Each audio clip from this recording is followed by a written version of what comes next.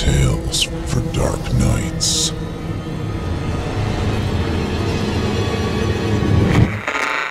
Want to make sure you never miss a Chilling Tales for Dark Nights video again? Be sure to subscribe and hit that bell to turn on notifications.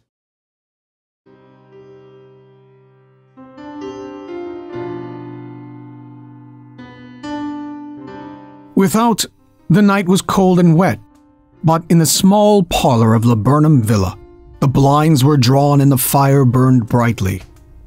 Father and son were at chess, the former, who possessed ideas about the game involving radical chances, putting his king into such sharp and unnecessary perils that it even provoked comment from the white haired old lady knitting placidly by the fire. Hark i' the wind, said Mr. White, who, having seen a fatal mistake after it was too late, was amiable desirous of preventing his son from seeing it. I'm listening, said the latter, grimly surveying the board as he stretched out his hand. Check. I should hardly think he's come tonight, said his father, with his hand poised over the board. Mate, replied the son. That's the worst of living so far out, bawled Mr. White with sudden and unlooked for violence. Of all the beastly, slushy, out of the way places to live in, this is the worst. Paths a bog, the road's a torrent. I don't know what people are thinking about. I suppose only two houses in the road are let, but they think it doesn't matter. Never mind, dear, said his wife soothingly. Perhaps you'll win in the next one. Mr. White looked up sharply, just in time to intercept a knowing glance between mother and son. The words died away on his lips and he hid a guilty grin in his thin gray beard. There he is, said Herbert White, as the gate banged to loudly and heavy footsteps came towards the door.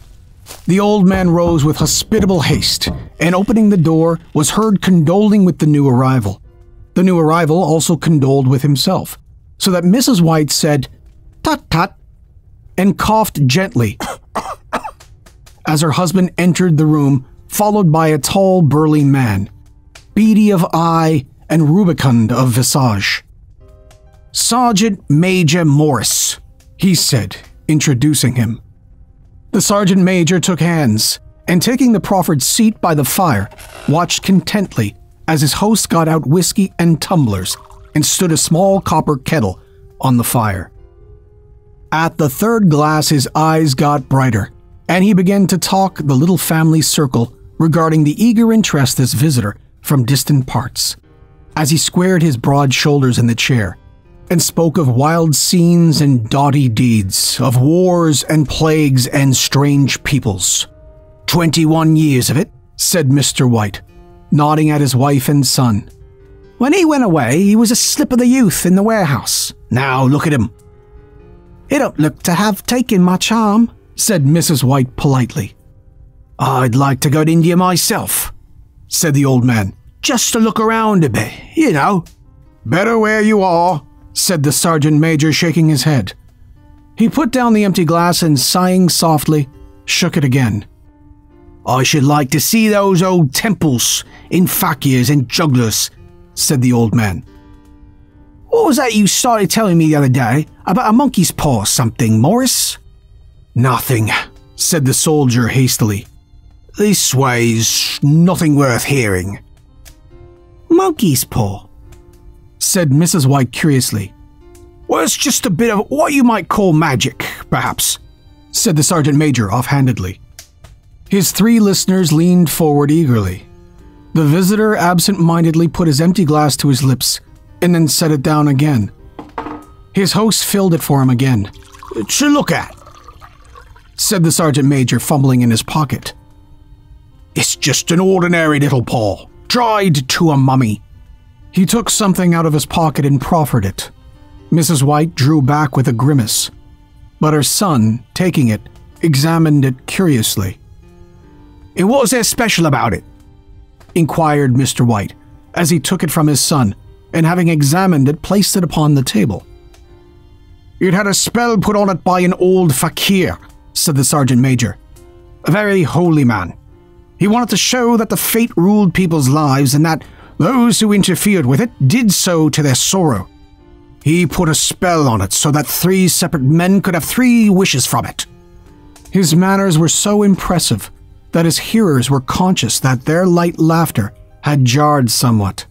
Well, why don't you have three, sir? said Herbert White cleverly. The soldier regarded him in the way that middle age is wont to regard presumptuous youth.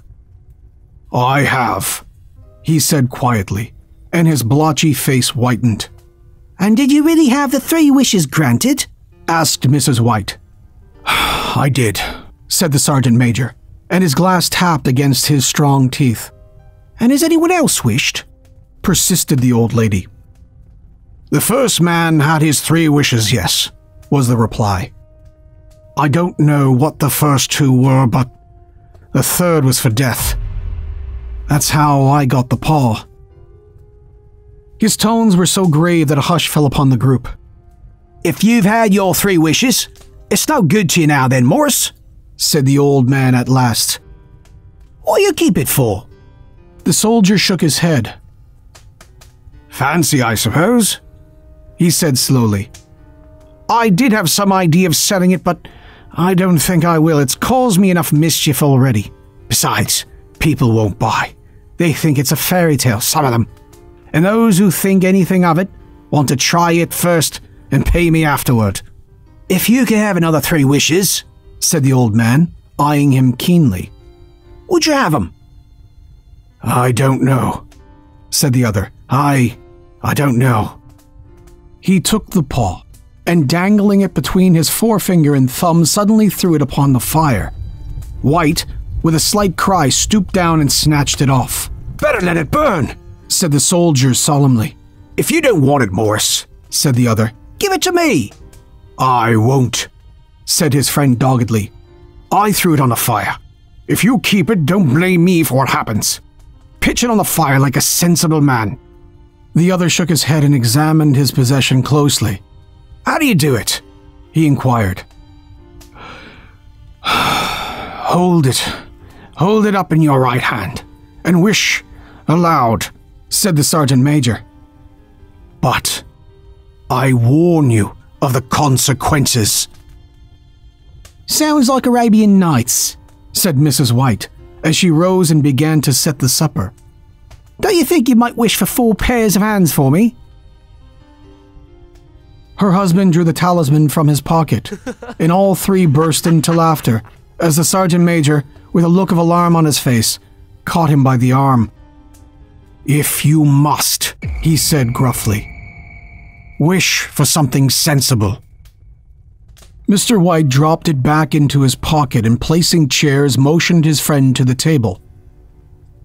In the business of supper, the talisman was partly forgotten, and afterward the three sat listening in an enthralled fashion to a second installment of the soldier's adventures in India. If the tale about the monkey's paw is not more truthful than he's been telling us, said Herbert, as the door closed behind their guest, just in time to catch the last train. We shan't make much of it. Did you give him anything for it, father? inquired Mrs. White, regarding her husband closely. A trifle, said he, coloring slightly. He didn't want it, but I made him take it, and he pressed me again to throw it away. Likely, said Herbert, with pretended horror. Why, we're going to be rich and famous and happy wish to be an emperor, father, to begin with. Then you can't be henpecked. He darted around the table, pursued by the maligned Mrs. White, armed with an antimacassar. Mr. White took the paw from his pocket and eyed it dubiously. I don't know what to wish for, that's a fact, he said slowly. Seems to me if I've got all I want.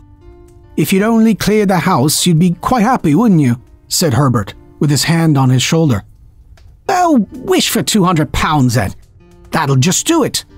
His father, smiling shamefacedly at his own credulity, held up the talisman as his son, with his solemn face somewhat marred by a wink at his mother, sat down and struck a few impressive chords.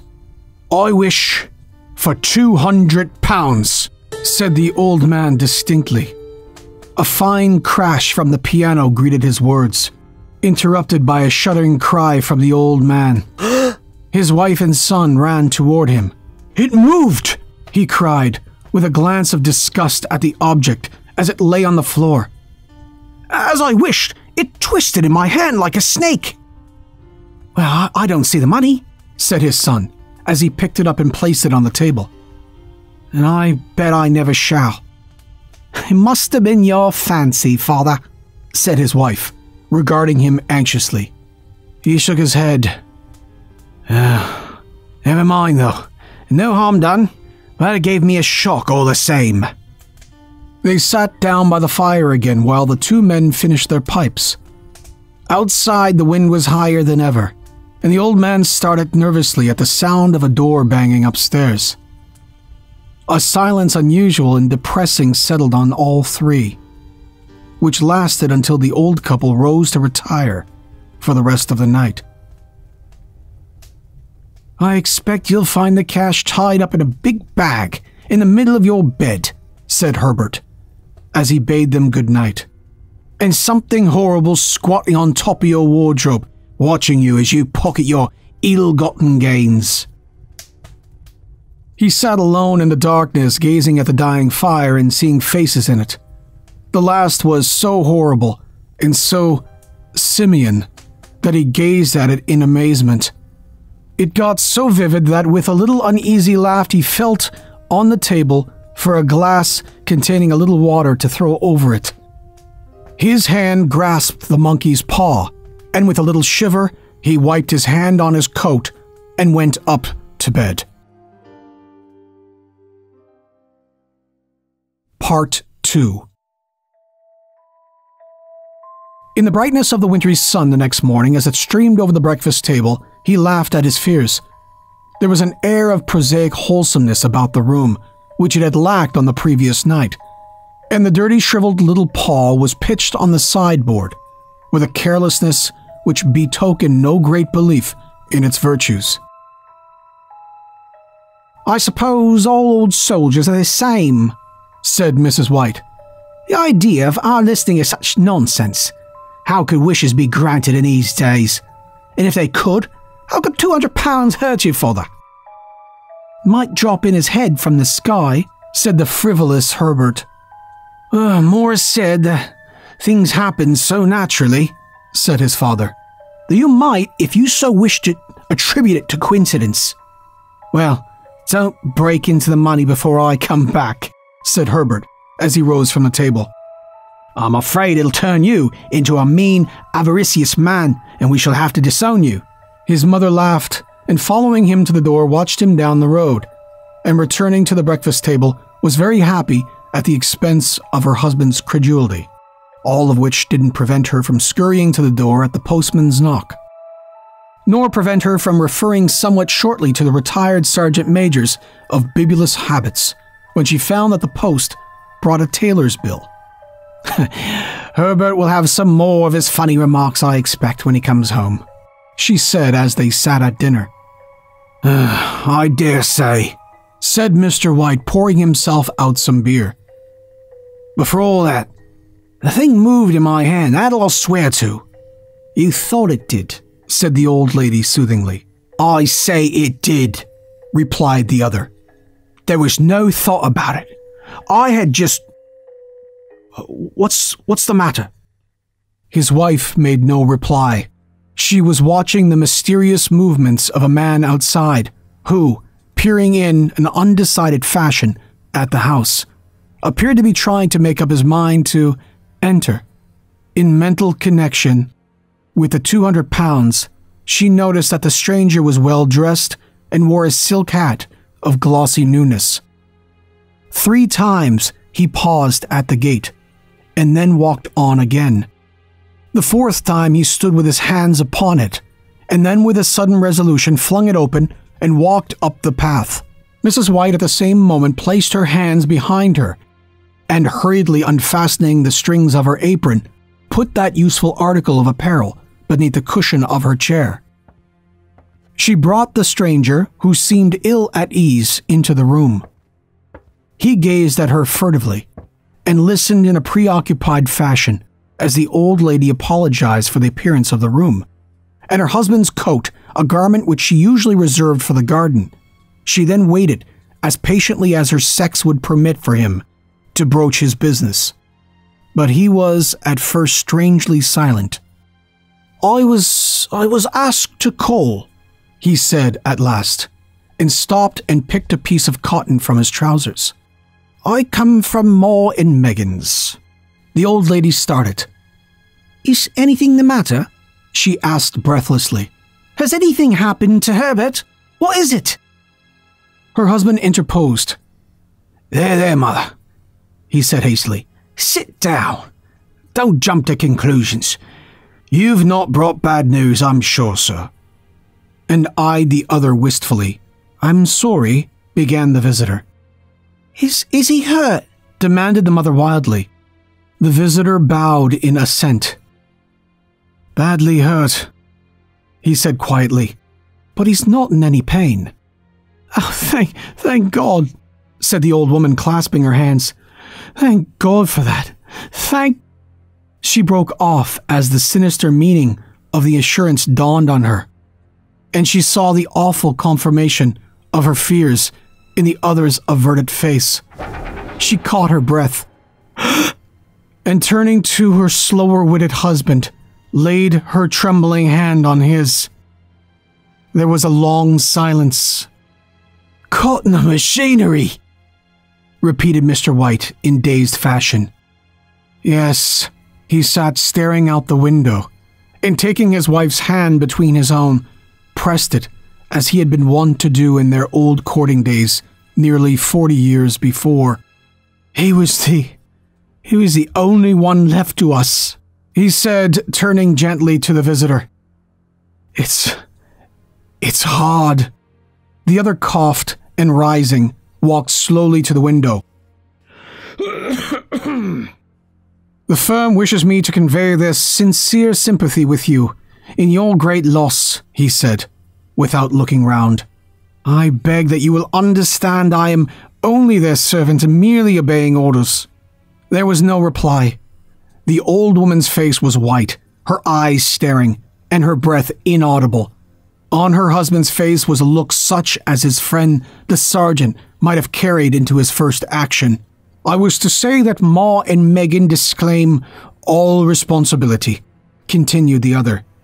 They admit no liability at all, but in consideration of your son's service, they wish to present you with a certain sum as compensation. Mr. White dropped his wife's hand and, rising to his feet, gazed with a look of horror at his visitor.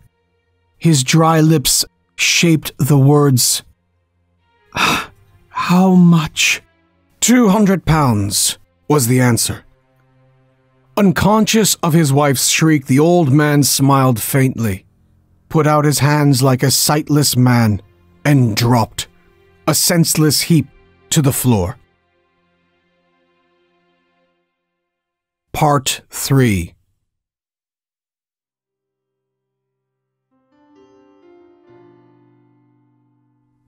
In the huge new cemetery, some two miles distant, the old people buried their dead and came back to the house steeped in shadows and silence. It was all over so quickly that at first they could hardly realize it and remained in a state of expectation as though of something else to happen. Something else which was to lighten this load, too heavy for old hearts to bear. But the days passed and expectations gave way to resignation. The hopeless resignation of the old, sometimes miscalled apathy. Sometimes they hardly exchanged a word, for now they had nothing to talk about and their days were long to weariness. It was about a week after that the old man, waking suddenly in the night, stretched out his hand and found himself alone. The room was in darkness, and the sound of subdued weeping came from the window. He raised himself in bed and listened. Come back, he said tenderly. You'll be cold. It's colder for my son, said the old woman, and wept afresh. The sounds of her sobs died away on his ears. The bed was warm and his eyes heavy with sleep. He dozed fitfully, and then slept until a sudden, wild cry from his wife awoke him with a start. The paw! She cried wildly. The monkey's paw! He started up in alarm. Where? Where is it? What's the matter? She came stumbling across the room toward him. I want it, she said quietly. You've not destroyed it. It's in the parlor on the bracket, he replied, marveling. Why? She cried and laughed together and bending over, kissed his cheek. I only thought of it, she said hysterically. Why didn't I think of this before? Why didn't you think of it? Think of what? he questioned. The other two wishes, she replied rapidly. We've only had one. Was that not enough? he demanded fiercely. No, she cried triumphantly. We'll have one more. Go down and get it quickly and wish our boy alive again. The man sat in bed and flung the bedclothes from his quaking limbs. Good God, you're mad! he cried, aghast. Get it! she panted. Get it quickly and wish. Oh, my boy, my boy! Her husband struck a match and lit the candle. Get back to bed, he said unsteadily. You don't know what you're saying.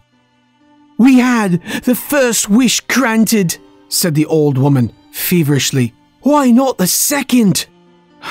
Uh, it's a coincidence, stammered the old man. Go, get it and wish, cried his wife, quivering with excitement. The old man turned and regarded her, and his voice shook. He's been dead ten days. And besides, I would not tell you else, but I could only recognize him by his clothing. If he was too terrible for you to see then, how now? Bring him back cried the old woman and dragged him towards the door. You think I fear the child I've nursed.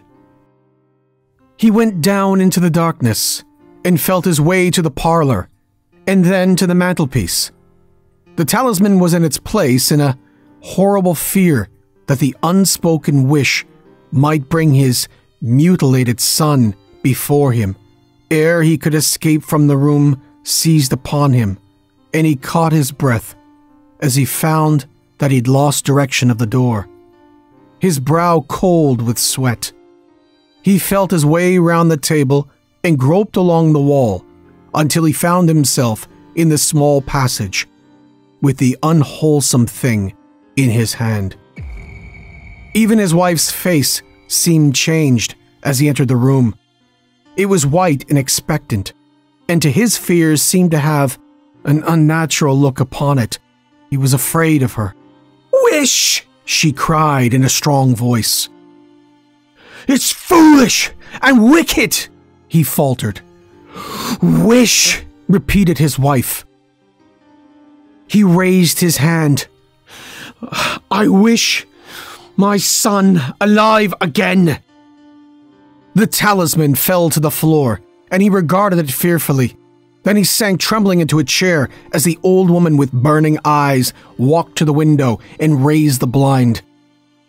He sat until he was chilled with the cold, glancing occasionally at the figure of the old woman peering through the window.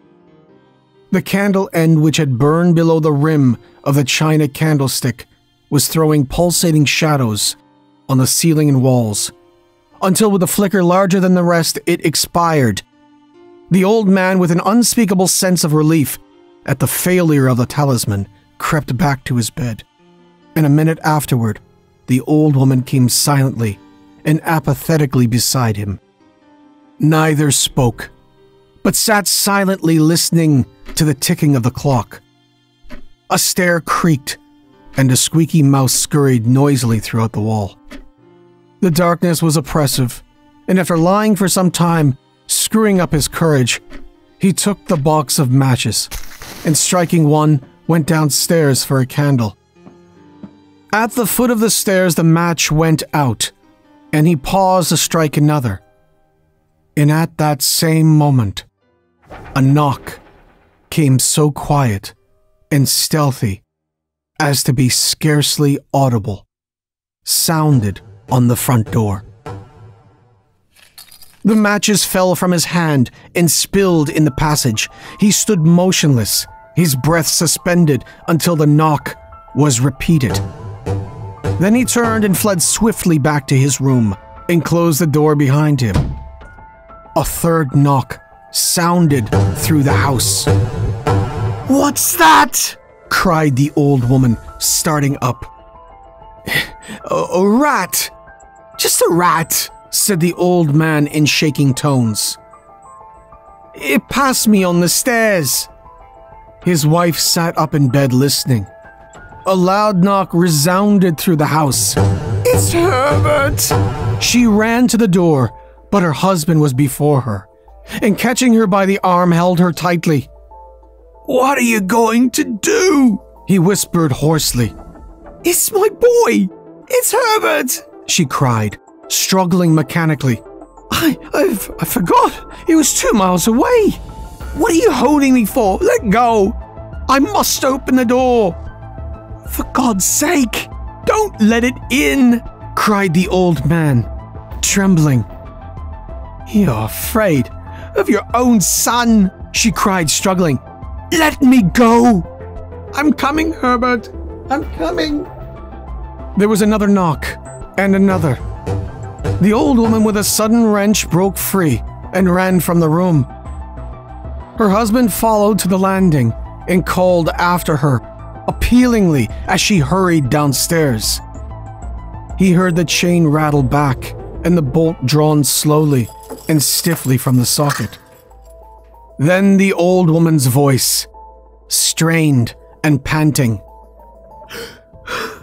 The bolt! She cried loudly. Come down! I can't reach it! But her husband was on his hands and knees, groping wildly on the floor in search of the paw. If only he could find it before the thing outside got in. A perfect fusillade of knocks reverberated throughout the house, and he heard the scraping of a chair as his wife put it down in the passage against the door. He heard the creaking of the bolt as it came slowly back. And at that same moment, he found the monkey's paw and frantically breathed his third and last wish. The knocking ceased suddenly, although the echoes of it were still in the house. He heard the chair drawn back and the door opened. A cold wind rushed up the staircase. And a long, loud wail of disappointment and misery from his wife gave him the courage to run down to her side and then to the gate beyond. The street lamp flickering opposite shone on a quiet and deserted road.